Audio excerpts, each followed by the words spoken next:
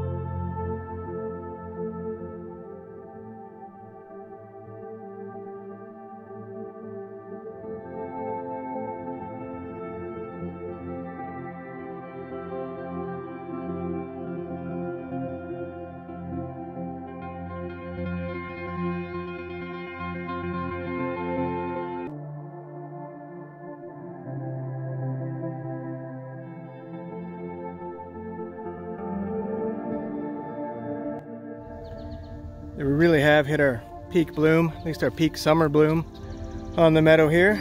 We'll do a walk through and see.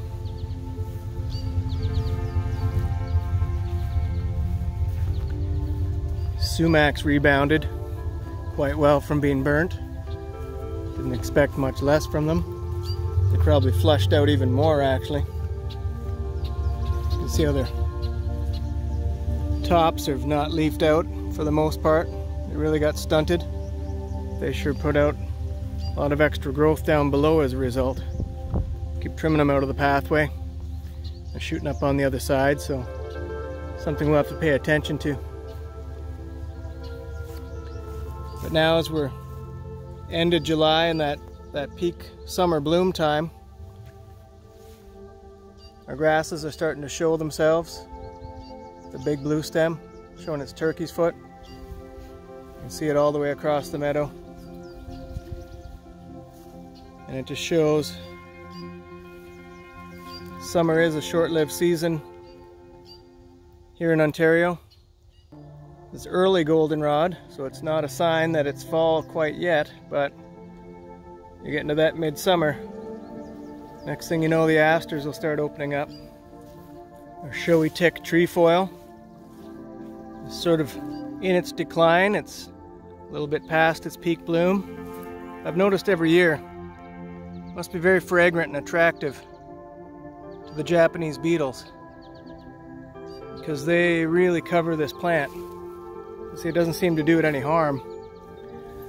If anything, after the burning, this plant is um, is quite happy. The bushes of it seem to have gotten quite a bit larger.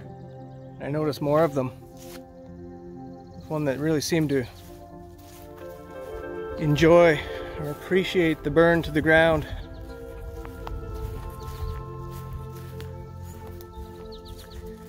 I might have said in one of the other videos, this upper corner of the meadow has always been predominantly grass and not as much of the wildflowers. You know, it could very well be that when I spread the seed mixture, I didn't have it mixed as thoroughly or, you know, what tends to happen is heavier seeds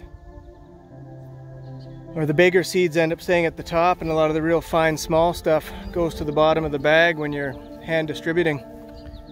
It could be that I just had more of the grass thrown up here in this area. But it makes a, a great spot. You know, your big blue stem. You know, some of the individuals have really amazing colors on them is where when you start to see the different cultivars in the nursery trade, they're just selecting the seed and crossbreeding with other colorful ones. This round-headed bush clover, big cluster of it here. It's not open in bloom yet. You sort of cut through the heart of the meadow here.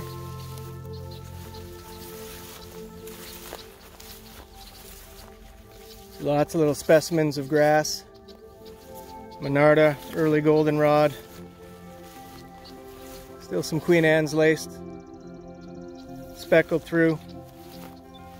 And quite full of the Virginia mountain mint. Just typically just covered in little insects. Pretty much all the white that you see in here is a Virginia mountain mint. Just a real big year for blooming. Between the heat and the rain, it's a lush, a lush year for any uh, lawns and gardens, and the meadow is no different. It can definitely handle the hot and dry without suffering too much. But you give it a year with lots of water, and you really see the blooms. Also interesting on different parts of the property, depending on the soil type, how big the plants can get. You know, this individual clump of big blue stem is you know, at least six and a half feet tall. Same with throughout this area. And then other parts it'll be, you know, chest high, five feet or so. But up in here we've got several feet of rich topsoil. And the swath of big blue in here is, is quite substantial.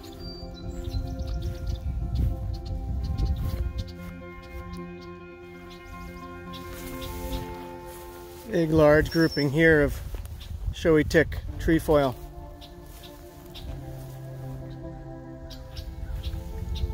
You know, great out in the meadow. Maybe not the best to put in a residential garden. It's get quite large and quite floppy and the seeds really do stick to you. You walk through them, these get embedded in your clothes pretty, pretty good. Obviously is how it spreads.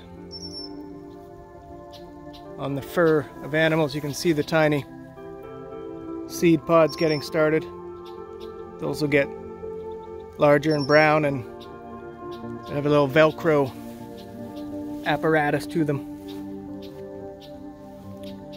Not the best to walk through or let your dog walk through, but really pretty plant from afar. And as you saw, the bees are quite fond of it.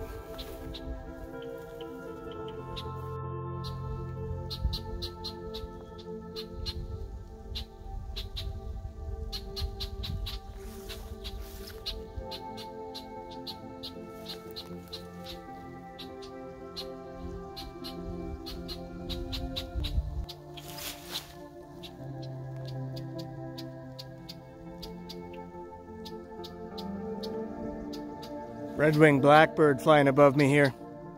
Doesn't like my presence. I have a nest nearby. Those guys can be a little aggressive, so hopefully I don't get dive bombed.